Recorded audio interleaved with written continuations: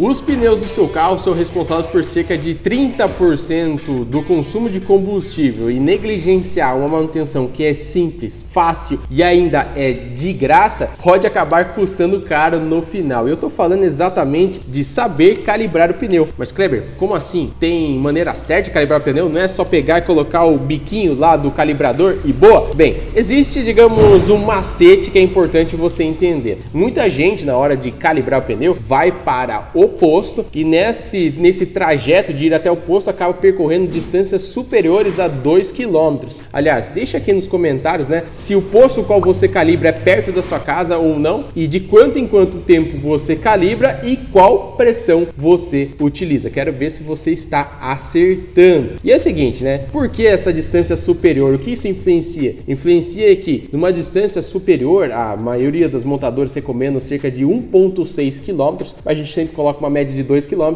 essa distância já faz com que você tenha o aquecimento da banda de rodagem e essa temperatura vai ser transferida para o ar do interior aqui do pneu e esse ar que na maioria dos casos contém muita e muita umidade faz com que essa elevação de temperatura gere uma alteração na pressão. Isso vai ser identificado no momento que você espetar o biquinho do calibrador do posto aqui no biquinho do pneu e ele vai mostrar ali no mostrador a pressão atual. Porém, essa pressão atual vai ser alterada, vai estar maior do que de fato é real. Com isso, na hora de você colocar o valor, determinado valor que você está escolhendo, vai então calibrar o pneu, gerando um falso número, o qual está mostrando ali no resultado final. Isso porque, novamente, o pneu está quente, o ar no interior está quente e a pressão fica mais elevada. Porém, à medida que o pneu esfria, ele vai então ter uma pressão menor. Por isso é importante você calibrar o pneu andando com seu carro uma distância inferior a isso, mas de preferência preferência utilizar calibradores aí na sua casa. E aqui, por exemplo, eu tenho um calibrador portátil sem fio a bateria que você pode ter aí no banco do seu carro, logo abaixo, porta-malas, enfim, qualquer lugarzinho que está sobrando, ele é super compacto e você pode utilizar. E ele vai principalmente também salvar você de perrengues, como por exemplo, o pneu completamente murcho. Você espeta ele aqui e coloca a pressão desejada, deixa ele fazer o seu trabalho e vai te salvar, como também é claro, calibrando o pneu do seu carro sem sair do lugar, garantindo assim a pressão exata. Então fica a dica aí para você, calibre sempre num posto que está mais próximo da sua casa ou então dê preferência para adquirir um calibrador como esse daqui que vai ser um baita quebra-galho. Aliás, vou deixar na descrição